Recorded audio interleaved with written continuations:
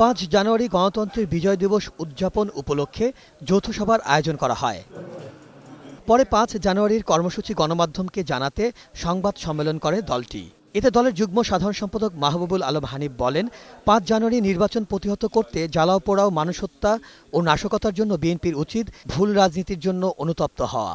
দশম জাতীয় সংসদ নির্বাচনে সাধারণ ভোটার যারা ভোট দিতে গেছিল তাদের উপরে বোমাবাজি করা, পাঁচশোটি ভোট কেন্দ্র জ্বালিয়ে দেওয়া একশো বিয়াল্লিশ জনকে মানুষকে কুপিয়ে হত্যা করা এটা এটা করে ভোটাধিকার হরণ কে করেছে? বিএনপি করেছে। যে বেগম খালেদের যা ভুল রাজনীতি করেছিল সেটার জন্য তারা ভুল দিবস হিসাবে তার ভুল রাজনীতি দিবস হিসেবে তারা উদযাপন করতে পারে। অনুদপ্ত দিবস হিসেবে তারা উদযাপন করতে পারে।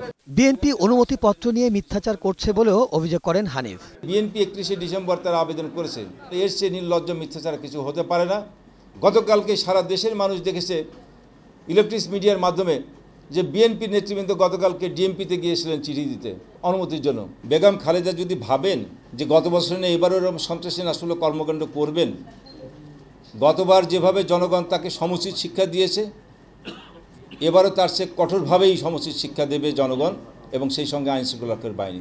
পরে পাঁচ জানুয়ারি সারা দেশের জেলা উপজেলা ও ঢাকার আঠারোটি স্পটে আনন্দ মিছিল ও সমাবেশ করার সিদ্ধান্তের ঘোষণা দেন তিনি। পাঁচই জানুয়ারি আনন্দ র্যালি এবং আলোচনা সভার কর্মসূচি নেওয়া হয়েছে। এবং ঢাকা মহানগরে আঠারোটি স্পটে বাংলাদেশ আওয়ামী লীগের পক্ষ থেকে আলোচনা সভা, জনসভা এবং আনন্দ র্যালির কর্মসূচি নেওয়া হয়েছে। মিরাজ মিজু, একুশে টেলিভিশন, ঢাকা।